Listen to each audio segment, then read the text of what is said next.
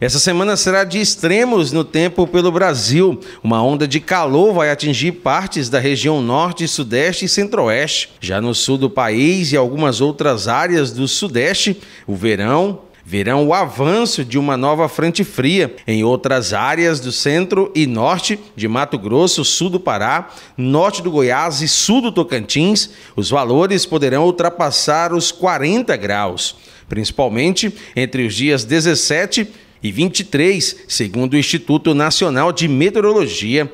Em Gurupi, na região sul do estado, os termômetros estão marcando 42 graus. Segundo o IMET, essas altas temperaturas ocorrem devido à formação de uma massa de ar seco associada à falta de chuva, cenário comum nesta época do ano. O IMET emitiu um alerta de altas temperaturas para quase todo o estado do Goiás, sul do Tocantins, leste do Mato Grosso e a metade oeste de Minas Gerais. Vale destacar que a chuva voltou das caras no Tocantins na última segunda-feira, dia 12, em Bernardo Saião, no extremo oeste do Tocantins, um registro de chuva foi feito por um morador. Ainda segundo a previsão do Instituto Nacional de Meteorologia, a chuva não deve descer para outras regiões no Tocantins.